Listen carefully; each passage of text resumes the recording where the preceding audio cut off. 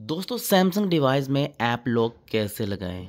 जैसे कि आपको पता कि पहले सैमसंग डिवाइस में एस सिक्योर ऐप लॉक आता था, जो कि काफ़ी बढ़िया था। लेकिन अब उसे जो है रिमूव कर दिया गया अब अब एस सिक्योर आपको नहीं देखने को मिलता है। लेकिन आज मैं आपके लिए एक ऑफिशियल सैमसंग के लिए ऐप लॉक लेके आया हूँ, जो कि बिल्कुल हंड्रेड परसेंट अच्छे तरीके से वर्क करता है और बहुत ही बढ़िया है। वो खासकर सैमसंग डिवाइस के लिए ही बना है, ठीक है? तो आपने ये ऐप लॉक अपने डिवाइस में कैसे इंस्टॉल करना है, कैसे सेट करना है, मैं आपको पूरा डिटेल में आज बताने वाला हूँ। सो नमस्कार दोस्तों, मेरा नाम है राकेश कुमार और आप देख रहे हैं आर के न्यूज़ टेक चैनल। तो चलिए आज का वीडियो शुरू करते हैं।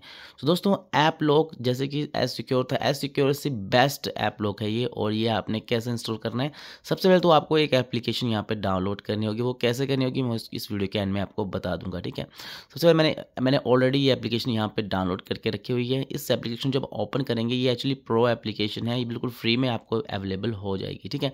जैसे इस एप्लीकेशन को फ़र्स्ट टाइम ओपन करेंगे तो आपको यहाँ पे पिन मांगेगा तो आपने यहाँ पे पिन सेट करना है कोई भी, ठीक है?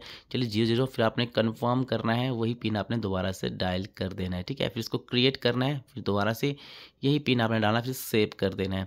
सेव करने के बाद आपको परमिट आएगा, यहाँ पे अपने परमिट पे क्लिक करना है, यहाँ पे इसको ओके करेंगे, फिर ऐप लॉक प्रो को आपने यहाँ पे इनेबल करना है, फिर इस यहाँ पे परमिट करना है, फिर ऐप लॉक लॉक को यहाँ पे आपने कर देना फिर ओके कर देना फिर परमिट यहाँ पे आपने कर देना अलाउ ठीक है फिर यहाँ पे आपका ऐप लॉक यहाँ पे एक्टिवेट हो जाएगा तो यहाँ पे आपने एप्लीकेशन यहाँ पे चूज़ कर लेनी है जिसको जिनको आपने लॉक करना है जो कि यहाँ पे ऑलरेडी यहाँ पे कुछ एप्लीकेशन ऑटोमेटिकली लॉक हो चुकी हैं जिन जो कि यहाँ पे आप देख सकते हैं ठीक है कैमरा गैलरी जो भी व्हाट्सएप भी करना चाहते लोग आप कर सकते हैं उसके बाद यहाँ पे आपको अगर आप जो है यहाँ पे सेटिंग वाले ऑप्शन में यहाँ पे जाते हैं ना सेटिंग वाले ऑप्शन जाना सिस्टम एंड सिक्योरिटी का ऑप्शन दिखता है यहाँ पे क्लिक करेंगे यहाँ पे बायोमेट्रिक एंड फिंगरप्रिंट दिखता है तो आप फिंगरप्रिंट लगाना चाहते हैं तो आप फिंगरप्रिंट भी लगा सकते हैं इस तरह।